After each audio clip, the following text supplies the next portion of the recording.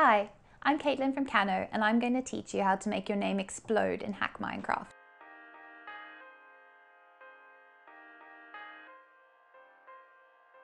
So the first thing you need to do is click on the Hack Minecraft app and open it on your Kano computer kit. And then click on the green make button.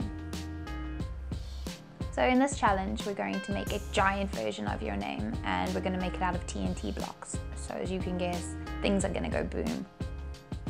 As soon as the screen loads, click on your origin story and then find the challenge that says Nameify and click start. Cool. So whether this is your first power or your 10th power, it doesn't really matter, so click next a couple of times.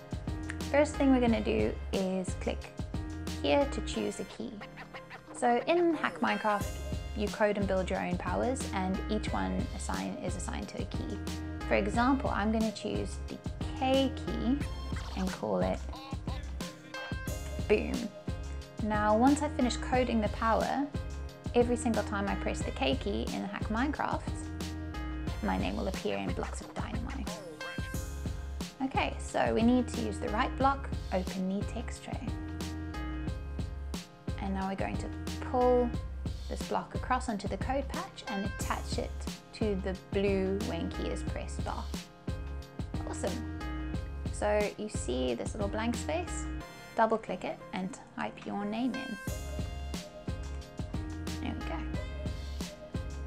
So that is normally the end of this challenge, but this is a super sneaky, awesome Kano challenge.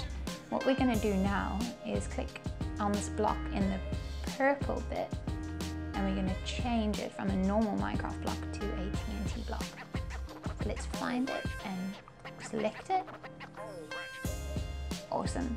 Okay, so now hit the tab button to get back into the Minecraft world and use your spacebar to float up a bit.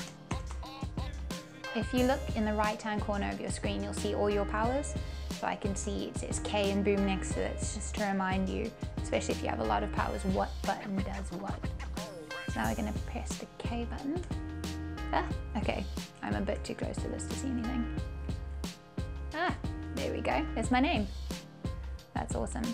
So now, because we've done it in TNT, we're gonna make the whole thing explode.